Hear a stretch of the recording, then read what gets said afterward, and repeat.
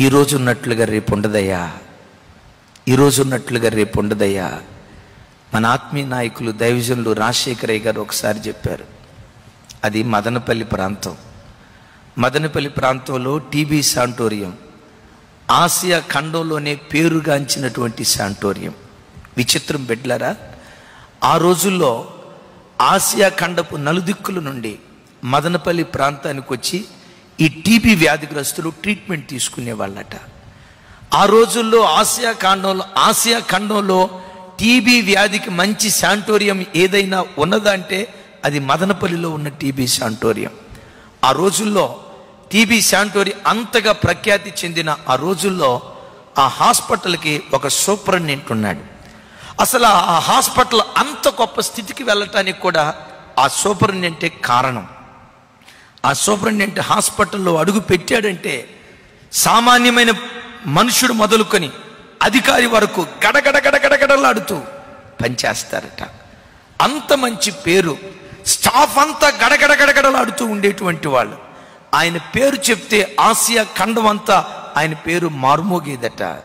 Superintendent hospital అంతా ఆయన చేతుల్లో ఉండేది. దినాలు అట్లా కొనసాగుతున్నాయి. మరి రిటైర్డ్ అయిపోయారు? వాలంటీర్ రిటైర్మెంట్ తీసుకున్నారో తెలియదు మదనపల్లి ప్రాంతం నుంచి భీమవరం వెళ్ళి ఒక హాస్పిటల్ పెట్టాడు. మదనపల్లి నుంచి భీమవరం వెళ్ళేటప్పుడు మంచి స్థితిలో ఆస్తిపాస్తులు తీసుకుని వెళ్ళాడు. హాస్పిటల్ పెట్టాడు. పూర్తిగా చిటికిపోయాడు. అప్పులు పాలైపోయాడు. హాస్పిటల్ మూతవేయబడింది భయంకరమైన నష్టాల్లోకి వెళ్ళిపోయాడు. దైవజనులు రాజశేఖరయ్య గారు ఏం చెప్తారో తెలుసా? ఆ గొప్ప సూపరింటెండెంట్. భీమవరం నుండి మరలా మదనపల్లి వచ్చేటప్పుడు సిమెంట్ సంచులు ఉంటాయి చూసారా? సిమెంట్ సంచుల్లో బట్టలు పెట్టుకొని రెండు సిమెంట్ సంచులు అట్లా చేతికి తగిలించుకొని మదనపల్లి వచ్చాడు. మదనపల్లి రావటంతో మతి భ్రమించిందట. లిటరల్గా మానసిక వ్యాధిగ్రస్తుడయ్యాడట.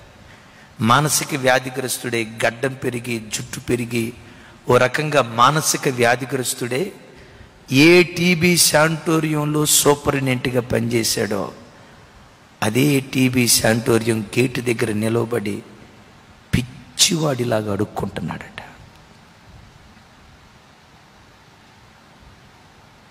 పిచ్చివాడిలాగా అడుక్కుంటున్నాడట. హాస్పిటల్కి వెళ్ళి రోగులు వెళ్తా ఉన్నారు వస్తూ ఉన్నారు. ఎవరో పిచ్చివాడులే అనుకున్నారు. జుట్టు బాగా పెరిగిపోయింది. గడ్డం బాగా పెరిగిపోయింది. ఈలోపు రెండు మూడు రోజులు గడిచిన తర్వాత ఆయన చూస్తే ఎగాదిగా చూస్తే ఈయన ఎక్కడో చూసినట్లుంది ఎక్కడో చూసినట్లుంది.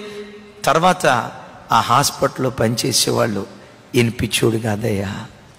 ఒకప్పుడు మన హాస్పిటల్లో సూపరింటెండెంట్గా పనిచేసినోడయ్యా. ఈ హాస్పిటల్ అంతటిని రన్ చేసిన అధినాయకుడయ్యా. అయ్యో ఎలా అయిపోయాడని చెప్పి ఆ హాస్పిటల్లో ఉన్న కొంతమంది దయగలిగిన వాళ్ళు ఆయన ఇంటికి తీసుకొని వెళ్ళి ఇంటికి తీసుకొని వెళ్ళి శుభ్రంగా స్నానం చేసి కడుపు నిండా భోజనం పెట్టి అయ్యా మా ఇంట్లో ఉండు. నీ ఎంగిలి నీళ్ళు నీ మోచేతి నీళ్ళు త్రాగి మేము బ్రతికిన వాళ్ళం. నీవల్ల అలా నిలవబడి అడుక్కుంటూ ఉంటే మా గుండెలు పగిలిపోతున్నాయి. నీ వల్ల నిలవబడి భిక్షాటం చేస్తూ ఉంటే మేము తట్టుకోలేకపోతున్నాం. అయ్యా మా జీవిత కాలం అంతా నిన్ను పోషిస్తాం. నీవు అట్లా రోడ్డు మీద నిలబడి భిక్షాటన చేస్తూ బ్రతుకుతూ ఉంటే మా హృదయాలు పగిలిపోతూ ఉన్నాయి. మేము తట్టుకోలేకపోతూ ఉన్నాం అని ఆయనకి చెప్తే బిడ్లరా మతిస్థిమితో లేనోడికి ఎన్ని ప్రేమ మాటలు చెప్తే అర్థం చేసుకోగలుగుతాడు? భోజనం కడుపు నిండా చేసేవాడట. మరలా ఆ శానిటోరియం హాస్పిటల్ గేట్ దగ్గరకు వచ్చి భిక్షాటం చేస్తాడు నిన్ననే ఆత్మీయ తండ్రి రాజశేఖర్ అయ్యగారితో మాట్లాడాను. నేను అయ్యగారితో మాట్లాడి అయ్యగారితో ఎందుకంటే ఎంత గొప్ప స్థితికి వెళ్ళినా మనిషిలో మార్పు లేకుండా ఆ దీనత్వంతో బ్రతికే సేవకులు నేను చూసిన వారిలో మన ఆత్మీయ తండ్రి దైవజనులు రాజశేఖర్ అయ్యగారు. నేను నిన్న అయ్యగారితో మాట్లాడుతా మాట్లాడుతా అయ్యా మిమ్మల్ని చూసి నేను నేర్చు మేము నేర్చుకుంది అది. నేను నేర్చుకుంది అది మా పిల్లలకు చెప్పేది అది ఎంత గొప్ప స్థితికి దేవుడు తీసుకుని వెళ్ళినా ఈరోజు ఉంది అని పొంగిపోవద్దు. లేదు అని కృంగిపోవద్దు. చప్పలు కొడుతూ స్తోత్రాలు చెప్దాం. ఈరోజు ఉంది అని పొంగిపోవద్దు. లేదు అని కుంగిపోవద్దు. బిడ్లరా ఎప్పుడు నీ జీవితంలో రేపటిని కూర్చిన ఆలోచన నివ్వి భవిష్యత్తును దావీదు చూశాడు. అయ్యో! ఒక యువరాజు కొడుకు యోనాతాను దావీదు మంచి స్నేహితులు. మహారాజు మనవడు మహాభాగ్యవంతుడైన కీషు యొక్క ముని మనవడు పట్టెడు మెతుకుల కోసం. తమ్ముడా ఈరోజు డబ్బుందని పొంగిపోతున్నావా? నువ్వు పిచ్చోడురా నువ్వు పిచ్చోడురా ఈరోజు ఉన్నట్లుగా రేపు ఉండదయ్యా. ఈరోజు ఆరోగ్యం ఉందని ఆరోగ్యాన్ని చూసి బలాన్ని చూసి నాకే? నువ్వు అమాయకుడు అయ్యా రేపటిని కూర్చిన ఆలోచన లేని ఒక వెర్రివాడివి. ఓ వెర్రివాడా? ఈరోజు దేవుడు నీతో మాట్లాడుతున్నాడు. హృదయానికి అంధకారం హృదయానికి కొవ్వు పట్టిన స్థితిలో బ్రతుకుతున్న మనుష్యుడా? ఆరోగ్యాన్ని బట్టి హృదయానికి కొవ్వు పట్టిందేమో? బలాన్ని బట్టి శరీరానికి కొవ్వు పట్టిందేమో?